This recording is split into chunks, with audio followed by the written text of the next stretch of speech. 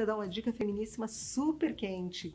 Vocês já conhecem o Alfredo Comércio de Carnes? Com certeza muita gente conhece, porque o Alfredo está no mercado há 60 anos. Muito, não é? Gente, 60 anos não é para qualquer um.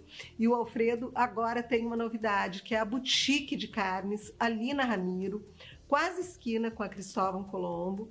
Só que tem um grande diferencial, porque essa boutique de carnes, ela vende com preço de distribuidor. Já imaginou?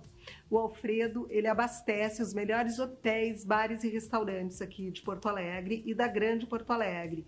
E agora tem a loja e nós, consumidores, temos o prazer de poder ter na nossa casa toda a qualidade da Alfredo Comércio de Carnes.